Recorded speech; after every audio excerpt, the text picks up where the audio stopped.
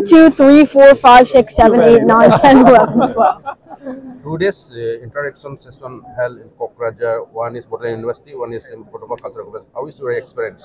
It was a great experience. The, all the students are very knowledgeable, uh, very amiable, and I hope to come back here again. Then this program Very was nice. organized for the development of physics and mathematics. How do you express about that? Uh, that's it's wonderful that the uh, BTC is focusing on something so important. Any advice for the uh, this region students, youths, how to learn mathematics and physics? I think that that has been mostly provided in my lecture, but I think uh, we should not strive to memorize everything, but think of it uh, from a more creative perspective.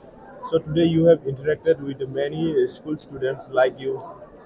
How do you feel? Uh, it was a great experience, and I hope to interact with them again. What is your advice to new generation?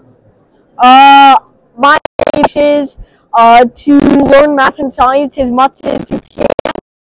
Uh, have fun with learning as much as possible instead of memorizing everything. Have you ever enjoyed your childhood?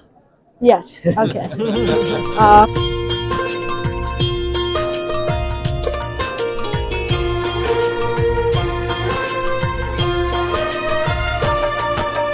धरती सुनहरी अंबर नीला।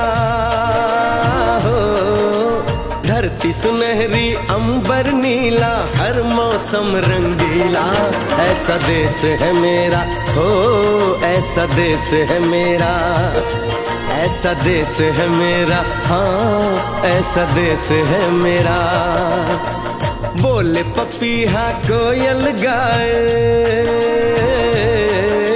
बोल पपीहा कोयल गाए, सावन घिर के आए।